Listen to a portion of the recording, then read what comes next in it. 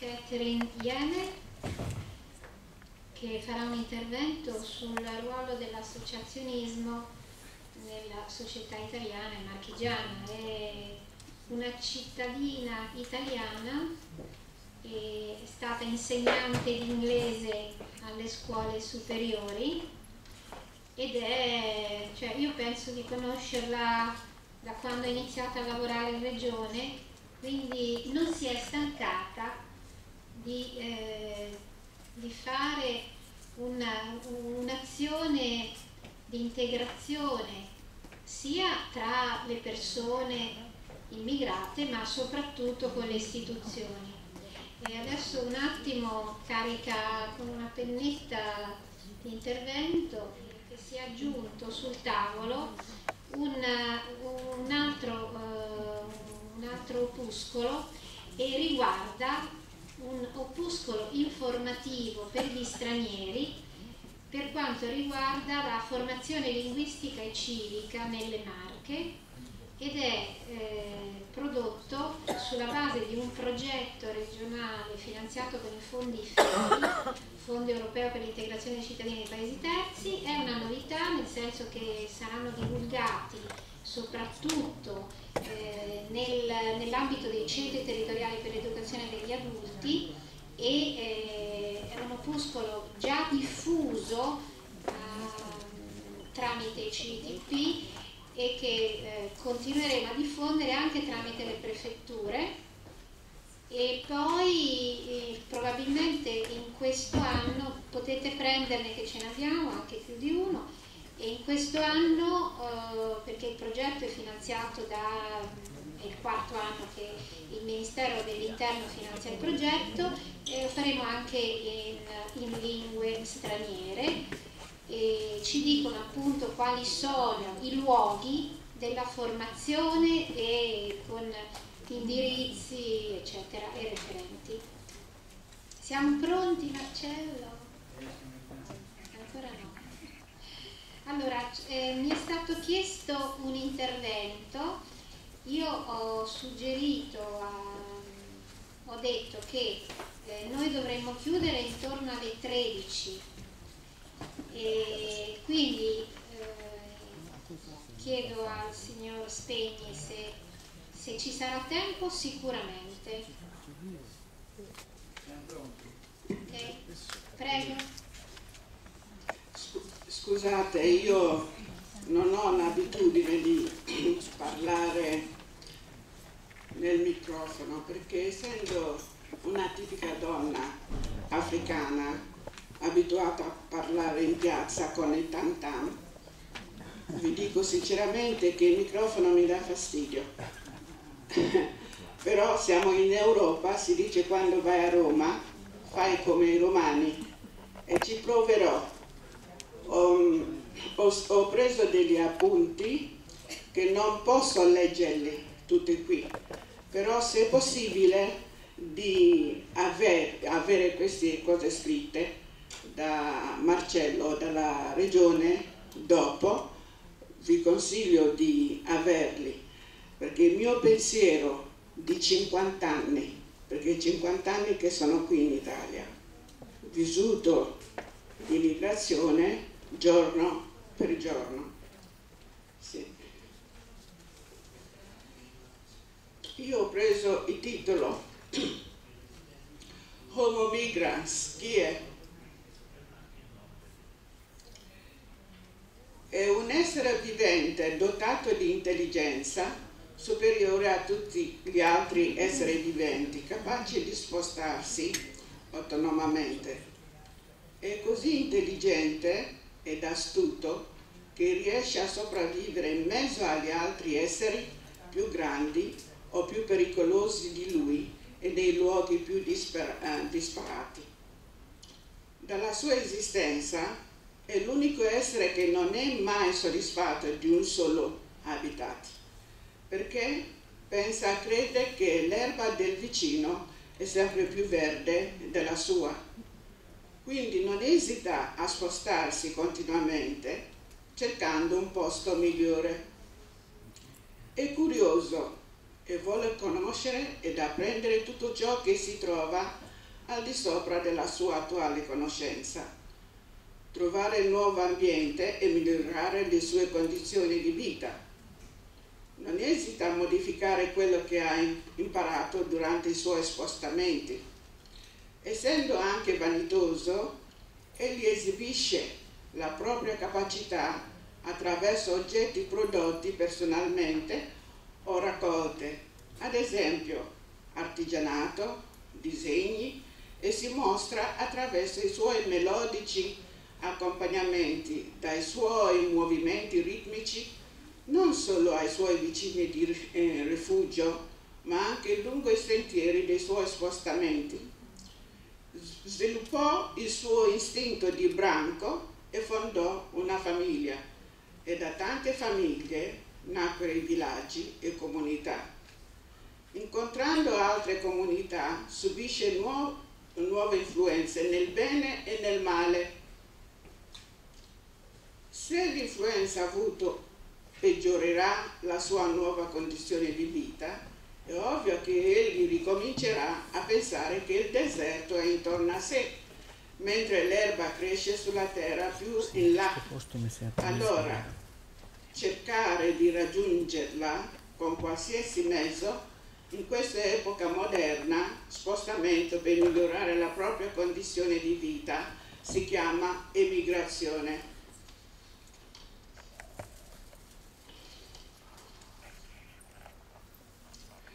Prendiamo qualche esempio. L'interazione.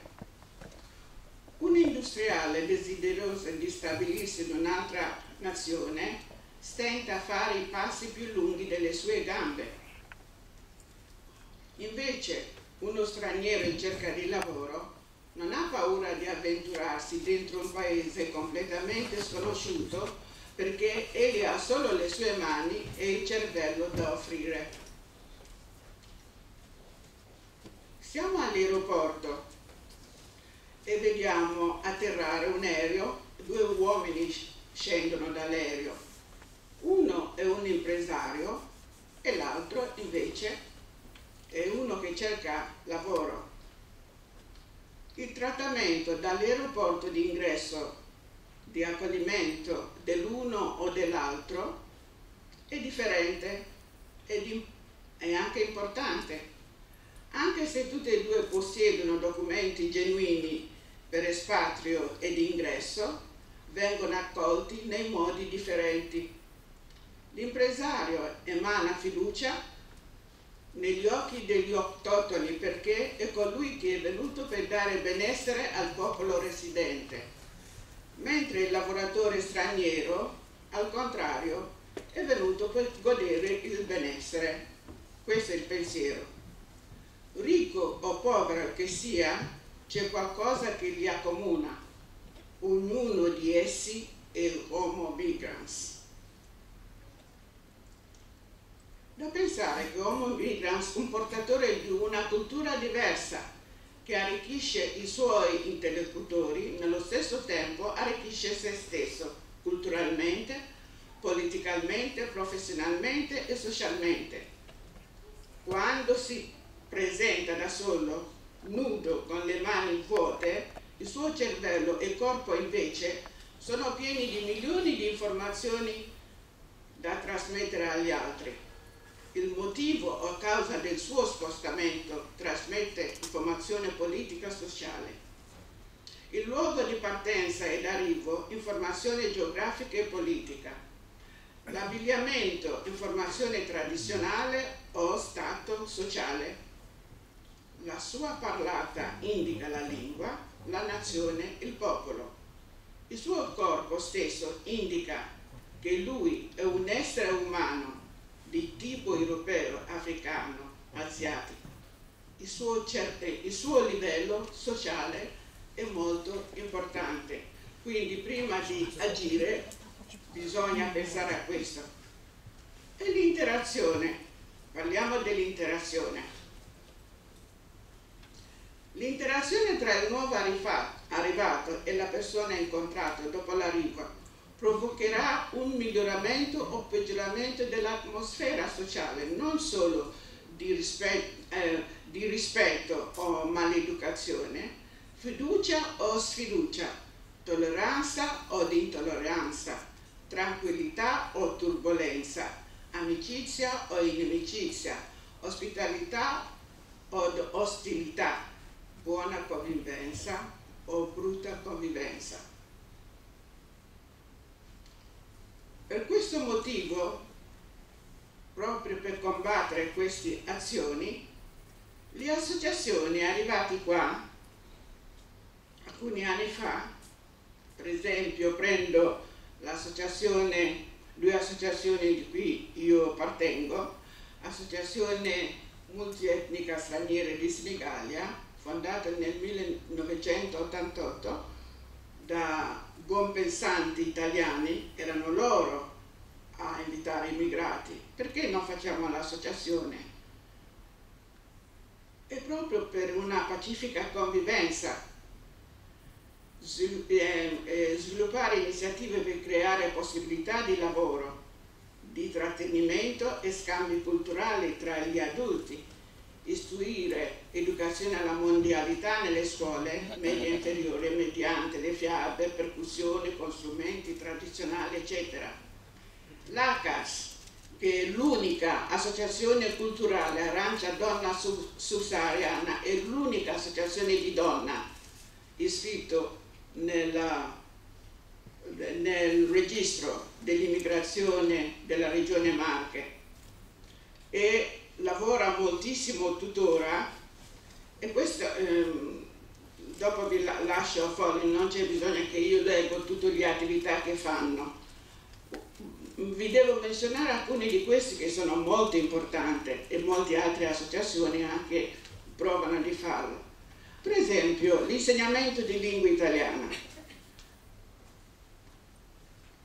Prima ancora che il governo italiano pensasse agli immigrati, le associazioni l'hanno pensato veramente già da anni 90 e poi eh, gli enti vedendo che queste cose sono importanti o che l'Europa li ha spinto proprio di pensare la prima cosa non è di congratularsi con le associazioni che stanno facendo, è proprio di toglierle dalle loro mani istituire le cose ministeriali in modo che neanche il lavoro che fanno queste associazioni vengono riconosciuti.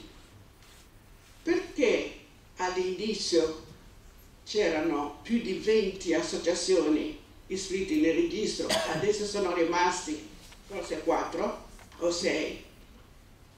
Non perché le associazioni non vogliono fare qualcosa, è perché c'è anche la discriminazione, la segregazione.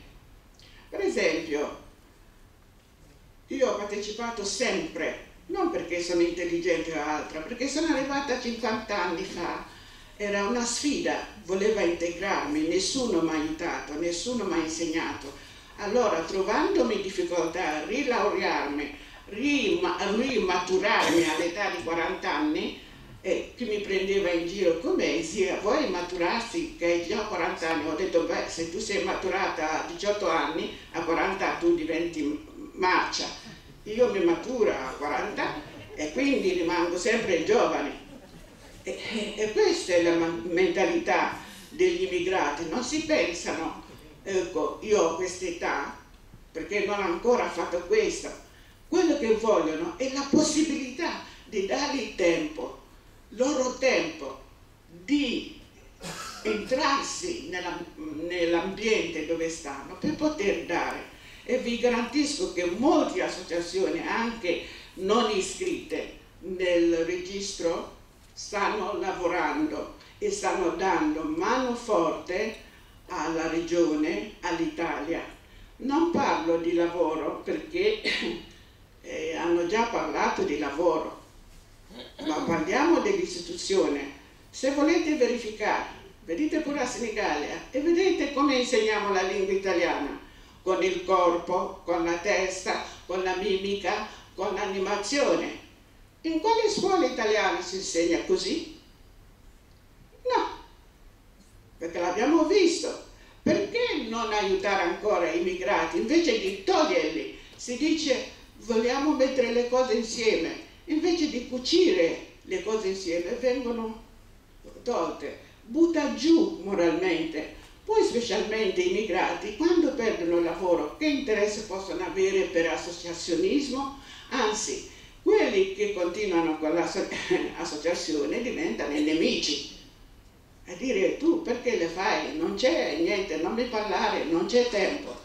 Ma ci sono quelli che credono e vanno avanti e partecipano fortemente e io vedo molti, di, oh, questo dell'Argentina, vede la dottoressa eh, Cipolari che da anni eh, sta dentro, ci sono le donne del, um, da Mozambico dell'associazione nostra, c'è la dottoressa Carletti e ci sono eh, la Zana, perché anche per quello che riguarda il rinnovo di permesso di soggiorno, eccetera, eccetera, loro sono tranquilli quando vedono i stranieri che si occupano di loro, perché i migrati stessi, nelle associazioni più forti, pensano prima al dovere, non a, ai diritti, perché in Italia si parla dei diritti, diritti, diritti, in inglese si dice legislation,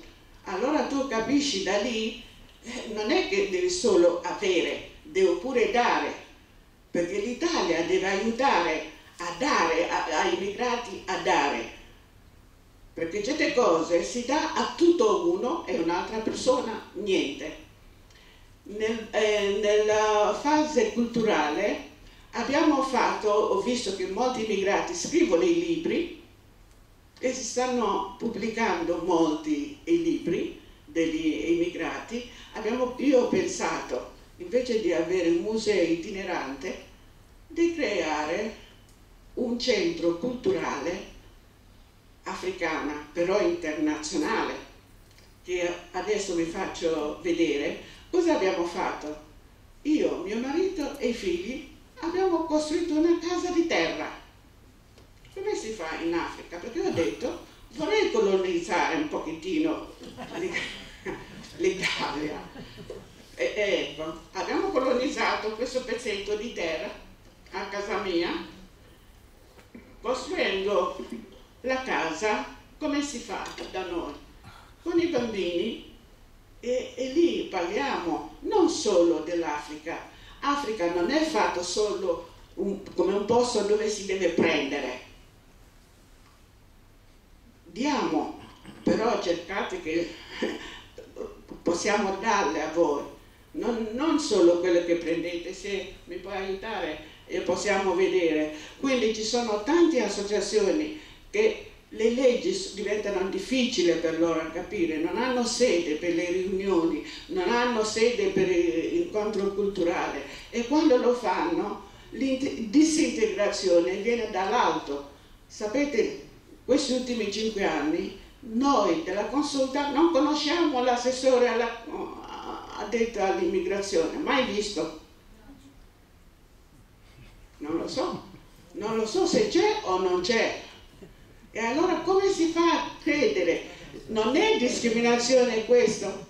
Come si fa a, a chiedere l'integrazione dal basso se l'esempio non viene dall'alto? Noi vogliamo l'integrazione vera, non ipocrisia. Altrimenti basta dire non vogliamo le associazioni degli immigrati è, è, è più tranquilla così almeno è più sincera. Non prendere, togliere. Mettiamo insieme, cuciamo integriamo, io voglio l'esempio mi dovete dare l'esempio buone perché siamo pronti a riceverle immigrazione fanno mediat mediatori culturali fanno a, a, arrivano dove voi non riuscite ad arrivare, ma non siamo bravi a pubblicarli. Ecco la differenza. Io vi ringrazio per questo. C'è questo museo a Senigallia dove facciamo animazione culturale, facciamo un po' di... Eh, non. Sì, sì, è ripartito però non, non è questo non, non è questo scusate forse sta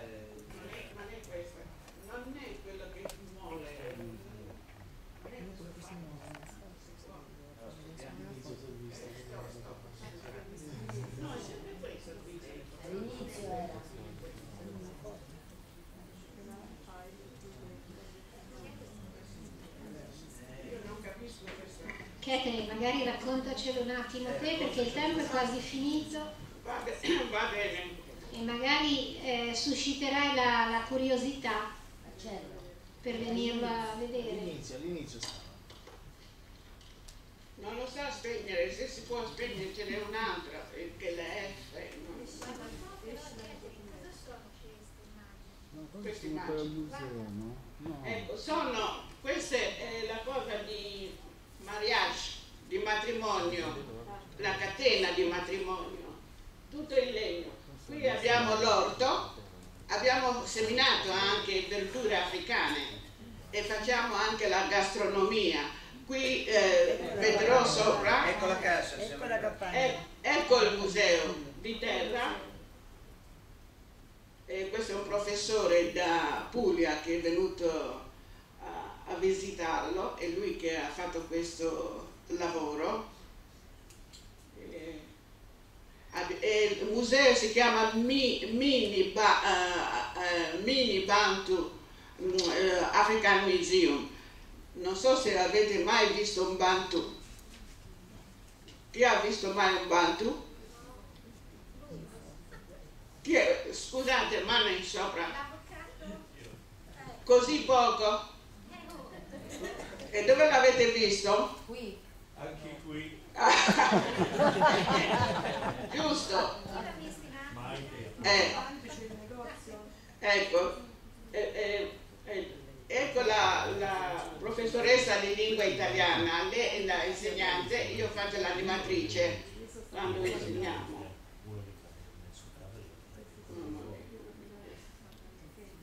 E dentro questa casa di terra, come l'abbiamo costruito? Con la, eh, la- ci hanno detto la terra slavata, mai sentito? È un architetto italiano, quindi abbiamo cercato la terra slavata lungo il eh, fiume e poi l'abbiamo eh, bagnato, mescolato con paglia, con ehm, acqua e poi con i piedi. E abbiamo iniziato dalla base a fare il livello eh, un metro alla volta, la lasciamo all'indomani, un altro metro fino al tetto. Eh, non c'è cemento, non c'è... ehm, ecco, regge. regge eh, fino adesso. I ragazzini di scuola piac- piacciono, questo è il cancello che ho disegnato io,